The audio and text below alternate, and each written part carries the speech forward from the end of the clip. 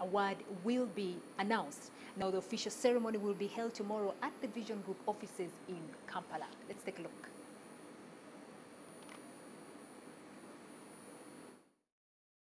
By 2 p.m. tomorrow, 13 farmers who emerged winners in the Best Farmers Awards 2020 competitions will be announced. The event will be streamed live on all Vision Group television platforms, including Bukedde 1 and 2, Urban Television, TV West, One Luo TV, Bukedde Radio Mbotikizi, and all social media platforms. When you think about Uganda, our backbone is agriculture, our backbone is farming, our livelihood is agriculture, and probably 90% of our population depends on agriculture. So it was a very natural project to do. Um, I think since the 1990s, we've covered farming uh, in the New Vision newspapers and on all our other platforms.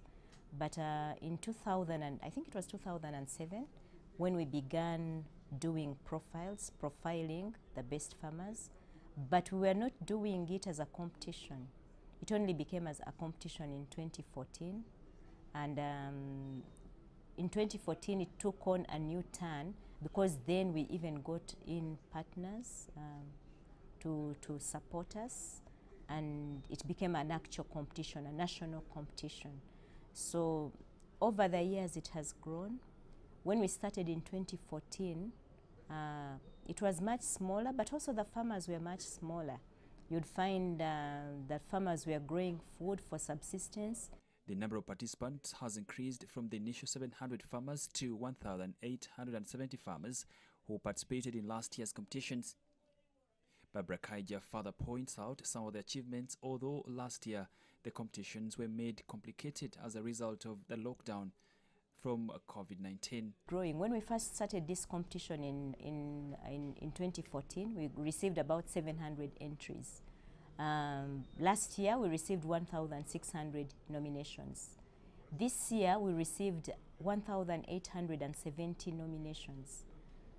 And the 300 jump in just, uh, the 200 jump in just one year shows that many more people are going into farming. Indeed, some of the entries we are getting were of recent people who have just gone into farming. And that, was, that coincides with the COVID time. Um, it just speaks to the Ugandan innovative spirit, the fact that Ugandans never give up. So if work, if I can't go to work, I can't do this business, I resort to the farm. And I guess that's what many people did, those who had land.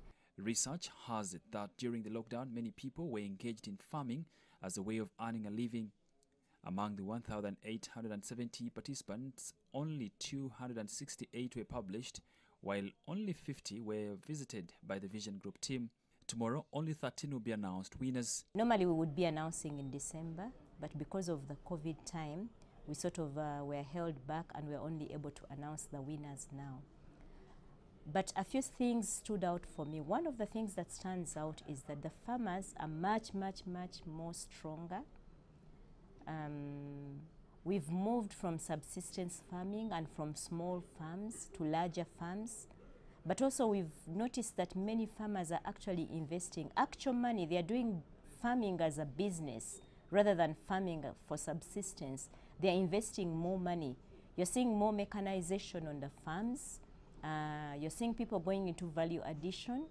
Um, you're seeing milk processing. You're seeing bee, bee, honey, honey harvesting, but in a mechanized manner. You're seeing um, a lot of investment into infrastructure to add value to the products. The 2019 winners will travel with the 2020 winners to Netherlands since the trip was postponed as a result of the COVID-19 lockdown. The first edition of the Best Farmers book will also be launched tomorrow.